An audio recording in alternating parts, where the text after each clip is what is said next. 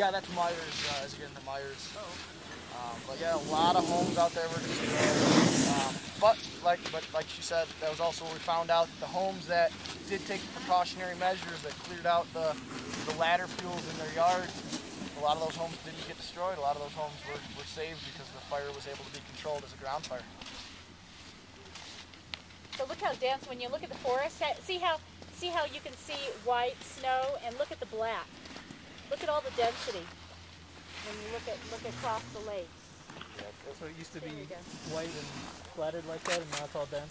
Yeah. So- So Muir, I think, was the writer, right? Mark Twain Mark Twain, it was. said he used to ride a horse 100 miles an hour through here. Yeah, f- at- uh, he could ride his horse at full gallop with his eyes closed and his hands off the reins That's how forest. that's how That's how spread out the trees were. sparse.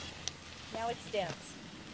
And there are some areas where you can go, especially on the west shore. Um, some areas that were preserved, preserved, you know, um, uh, preserved forests that weren't clear cut back in the Comstock days. And in those areas, you can see what a healthy Tahoe forest is supposed to look like. Big, massive sugar pine trees, really beautiful, majestic. Is that the uh, Ponderosa Ranch? You mean? Um, I think it like like Sugar Pine State Park. Oh, okay, and, Sugar Pine Park. Baldwin Estate and all those. Okay. Because all the uh, the logging families, the Baldwins and that, they were they were mainly the ones who had a lot to do with clear cutting, but they also kept little patches here and there as reserves. So thought ahead a little bit. Maybe not too much.